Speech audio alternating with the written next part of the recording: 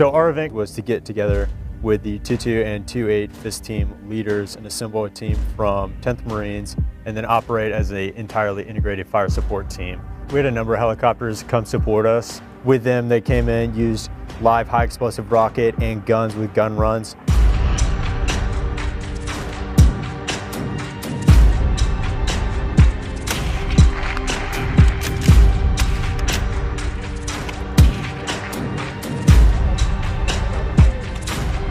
So Echo Company hiked 100 kilometers in five days. We hiked in the morning and in the afternoon to make up that mileage, get that 100 kilometers done. Out of the entirety of the regimental field exercise, Echo Company from 2-8 was the only company that executed that movement.